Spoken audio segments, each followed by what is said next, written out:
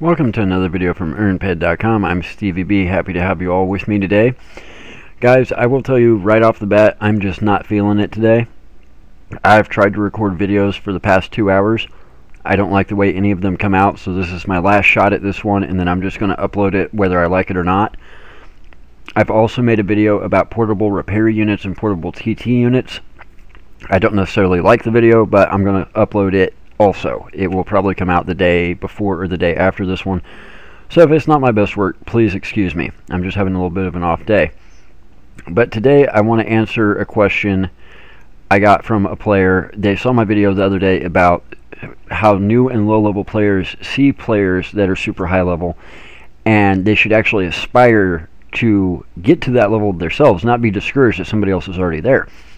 And they totally agreed with me, but they said, you know, it is disheartening when we see people like Eve, who is one of the biggest names in the game, getting multiple very, very valuable 20th anniversary items, and the average player will probably never loot a single one. So, how is that fair when Eve is looting the DOA Strikehammer Improved Twin Edition, and she's also uh, looting the 20th anniversary edition Protector of the Empire Foot Guards, female, both within 24 hours, versus the rest of us mere mortals will probably never loot anything. Well, this is why I like the 20th anniversary setup that Mindark is doing, even though it's kind of bad in a way because there's no real way to game it. There also is a way to game it. So, let's just start slow here because there's so much to unpack in this. First of all, this is not set up like Mayhem. It's not set up as a competition. It's not set up like the 15th anniversary where you had to loot tokens and people were buying and trading the tokens. This is set up that if you're hunting, there's a chance that you might get a drop. That's the only requirement, right? Well, let me ask you something. Do you guys remember this? Somebody's putting this up for sale right now as we speak in Cali Trade for TT plus 6,000 PED. This is the Solimate Apollo Twin Edition. I know it's Apollo, uh, Opolo, whatever. I call them Apollos. 68% efficiency, 49 attacks per minute, 6.6 DPS. 6.6 DPS. Yet, this weapon is in Cali Trade right now for TT plus 6,000 PED. Now, as a newer low level player, would you be happy to loot an item that you could sell for 6,000 PED? I would be. I think that would be a good day. But do you guys even remember me talking about this weapon? Or do you only remember me talking about the improved Justifier twin with 95% efficiency? Can you guys tell me the name of the player who discovered this weapon? Or can you only tell me the names Messi and Eve? So this is almost an example of negativity bias. These Apollos, there's been several of these that have dropped, probably over a dozen now. I, I would say probably easily a dozen of these have now dropped. However, the strike hammer, only one. These foot guards, only one. The justifier, improved, only one. But it's almost like negative negativity bias. If you go play poker, you're going to remember the hands you lose far easier than you're going to remember the hands that you win, correct? If you have a bad experience in a business, you're going to remember the bad experience far easier than you're going to remember the good experience, right? Negativity bias. Well, it's similar because when I say Messi, when I say Eve, when I say names that you guys are familiar with, you remember that a lot easier than when I say a random person's name. What was the name of the person that I mentioned five videos ago? Anybody? Yeah, I can't tell you either because when it comes to the big names, we know them, we're used to them, we hear them all the time. When it's somebody we've never heard of before, it doesn't stick with us. When it's a 95% efficiency new super weapon, it sticks with us. When it's a 6 DPS weapon, it doesn't stick with us. That doesn't make these Apollo twins any less valuable. 6,000 PED, that's pretty good money. And if you're a low level or new player, or mid-level even, and you manage to loot one, that's almost definitely going to put you into profit zone, right? So no, it's not a 200,000 PED item, but it's a 6,000 PED item.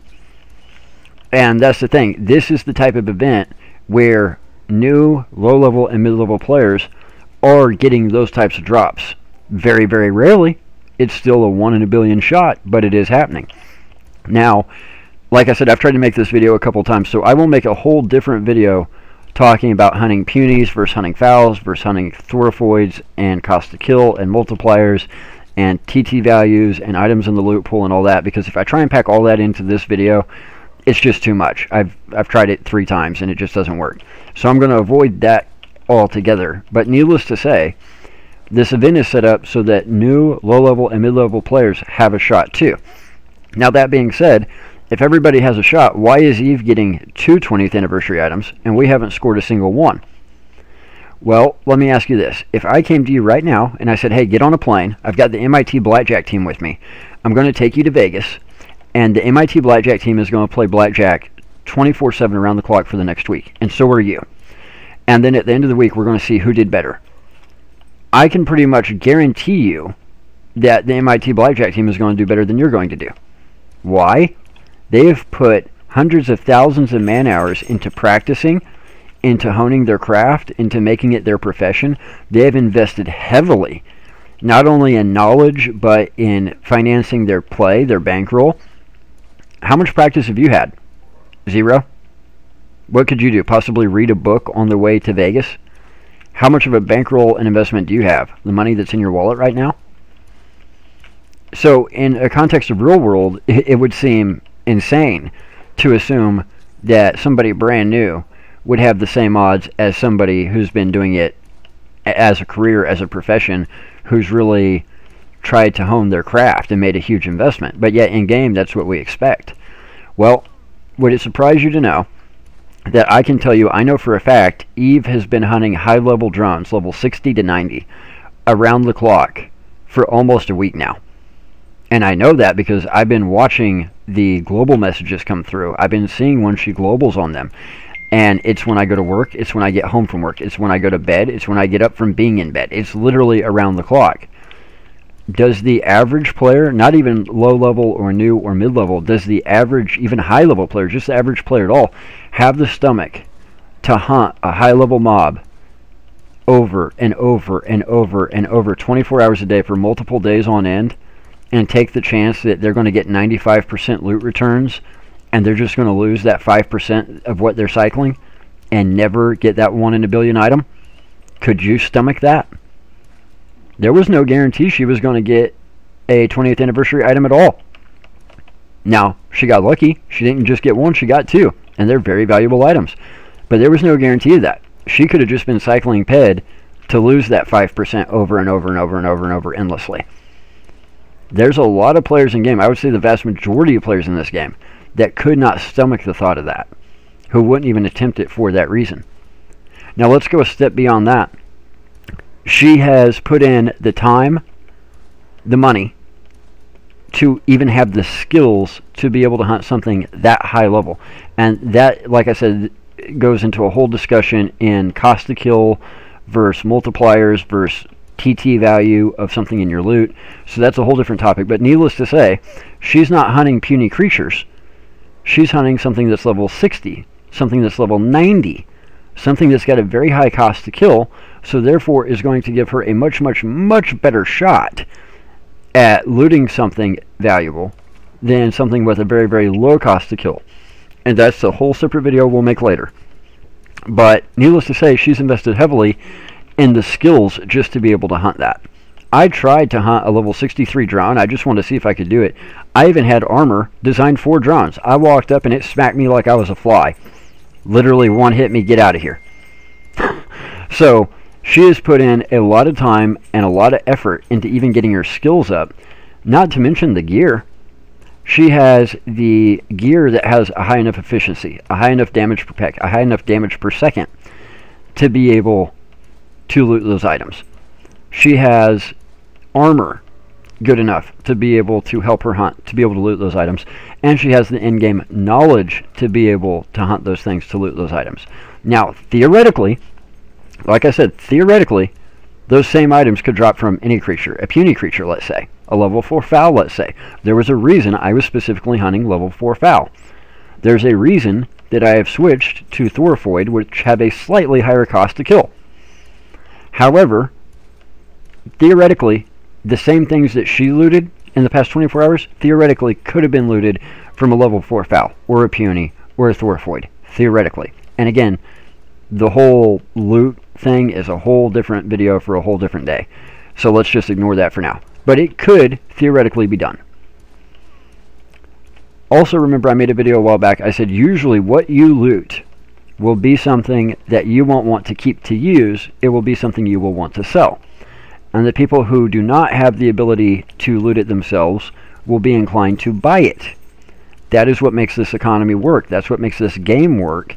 If we could just go out and grind endlessly and get every single thing we wanted, there would be no economy for the game other than a convenience economy. So, in her example, in one of the videos that I shot prior to this shooting, like I said, I've shot this video like three or four times now. I actually said, you know, Eve's gear is so good, I don't see her getting rid of her current setup to use the DOA strike hammer. I think she'll just sell it, which is how it's designed. The game is designed that she loots something she doesn't need, and then she sells it to somebody who does need it, who can't go loot it themselves. So, do I think Eve is going to get rid of her current setup to use the strike hammer instead? No, not at all. Well, sure enough, in Cali Trade right now, I made that video about an hour ago. She has the strike hammer up for sale. Want to sell DOA strike hammer improved twin edition. so, exactly right. She looted it not because she wants to use it, but because she wants to turn around and sell it for a profit. Other people will be interested in buying it because they know they do not have the capability to go loot it, but yet it is vastly better than what they're currently using, what their current setup is. So it's functioning exactly as it is designed to function to keep the economy functioning. So for all of these reasons, it is not unrealistic that we see the biggest names in the game looting these 20th anniversary items. What you have to keep in mind is that this specific event has indeed given low and mid-level and even new players the ability to loot items that most people are forgetting. Most people are not thinking about the Short Blade 10 20th anniversary edition that was looted. Most people are not thinking about all those Opolos that were looted. Most people are only thinking about the few Ubers in game who have looted the few best of the best of the best of the twin items in game. There have been dozens of players that you would not even know their names, but they've looted 20th anniversary items. And no, they're not in game items, but they're items that they have sold that have made them substantial amounts of money. So that makes it probably one of the best events in game, in in my opinion. In some respects, I like it because of that. In some respects, I don't like it because of that. In some respects, I do like competitions better. I do like events like the FEN event where we could go loot the tokens and then the tokens were tradable and there was a market for the tokens, year to year to year to. However, I think it's nice to see events like this because even if we don't remember all those low and mid-level players who were looting the, the Apollos, the short blade 10, stuff like that, they did do it and they did make money doing it. They did profit and that is at the end of the day the kind of stuff that we do need in this game we need players who can say, hey, I only played for three weeks and I looted this Apollo 20th anniversary edition and I managed to sell it and make 6,000 ped. That's exactly what we need. So just because you don't remember every single 20th anniversary item that was looted, just because you don't remember every single player who looted one, doesn't mean it hasn't been happening. In fact, there's a thread over on PCF where they're trying to keep track of every single person who loots a, a 20th anniversary item. Go take a look at it. It's a lot more low and mid-level players than you would think. But needless to say, this also makes a very good argument for why we should aim to eventually get to that level. To eventually get to the level where we have those skills, where we have that gear, where we have that knowledge, just like I said in my last video, so that we can loot those super valuable items one, two, three at a time, just like Eve did today. Now, she was lucky that might be a once in a lifetime thing, but she was still able to pull it off, so good for her. So I'm going to leave it right there for today. Like I said, we'll make a whole nother video talking about cost to kill, loot multipliers, odds of getting an item in your loot, damage per PEC, the value of the item whenever you loot it compared to the actual TT value, how that plays a role, why I switched from foul to Thorifoid because of the cost to kill year to year to year to. We'll get to all that in another video, but for now we'll leave it there for today. So guys, head over to earnped.com because when you earn, we earn. Obviously, that's the best way you guys can help support us. when you go to earnped.com, when you log in, just use the links on the website to go to hideout.tv. It will automatically know you came from EarnPed and it will add us as a redemption option for your hideout points. Guys, please be sure and hit all three buttons that YouTube offers you the like button on the videos, the su subscribe button for the channel, and the bell icon to be notified when we post new content. Because when you do those three things, YouTube gives us more exposure and that exposure is usually to people who play PC games, MMOs, and real cash economy games, and it's usually the first time they've heard of Entropia. They end up getting the exposure, they see the video, they start watching the channel, they subscribe, they like the videos. Four, five, six months down the road, they start playing Entropia. They become part of the community. They become part of the economy. So it's not just us. You're helping everybody, including yourself, because that person very possibly could buy something off of you two, three, four years down the road and the only reason they're in game at all is because you hit that button and they saw the video as a result. So it helps you too. So we really appreciate it and ask that everybody would do that every single time. Every single like on every single video matters. Every single subscriber matters. It really does. Guys, for earnped.com, I've been Stevie B. Sip, sip, smack, smack. Y'all know the rest. Take care, Stevies.